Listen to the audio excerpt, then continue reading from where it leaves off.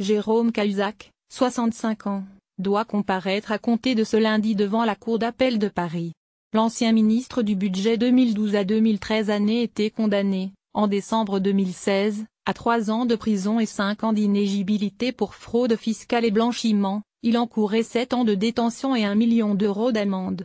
Les débats sont prévus pour occuper six demi-journées, jusqu'au 21 février. L'affaire éclate en décembre 2012, avec la publication d'un article de Mediapart. Le journal en ligne révèle alors que l'ex-chirurgien spécialisé dans la très lucrative activité de l'implant capillaire avait dissimulé dans des comptes bancaires secrets, en Suisse puis à Singapour, quelques 600 000 euros non déclarés à l'administration dont il était devenu le patron quelques mois auparavant. Ironie cruelle, M.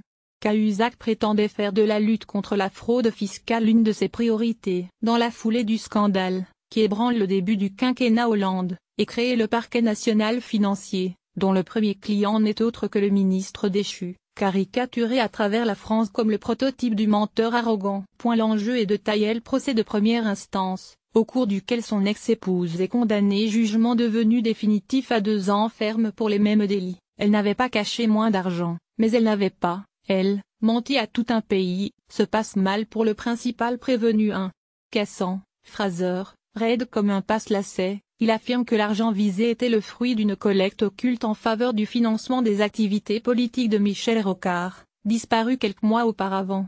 L'effet de cette déclaration inédite et invérifiable est désastreux. Ainsi que l'utilisation par les époux planteurs de mèches du compte bancaire de Madame Cahuzac-Mère, sans qu'elle en connaisse la raison, pour héberger leurs honoraires en liquide.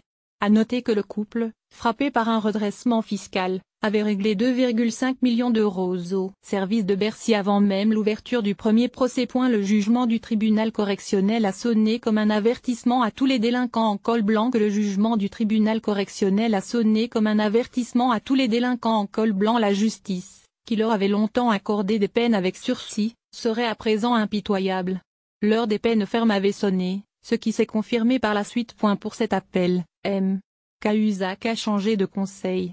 Si Jean Alain Michel, par ailleurs ami d'enfance, reste à ses côtés, Jean Veille, lui, cède sa place à son confrère Éric Dupont-Moretti. Pour le prévenu, seul face à ses juges, l'enjeu est de taille obtenir une peine qui ne soit pas supérieure à deux ans ferme, c'est-à-dire une sentence aménageable, qui le dispense de l'humiliation de l'incarcération.